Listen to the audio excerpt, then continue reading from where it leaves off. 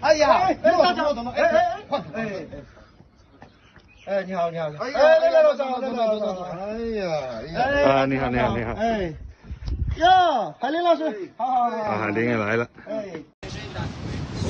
سلام دوستان طریقه جدید خوشتعارف از ترس ویروس کرونا سلام خسته نباشید حال شما خوبه سلامتی زنده باشید مخلصم سالم باشید خوشحال شدم دیدم سالم باشید کاری نداری؟ موفق باشید شما زنده باشید خوشحال شدید زنده باشید خدا به شما. خدا شما خدا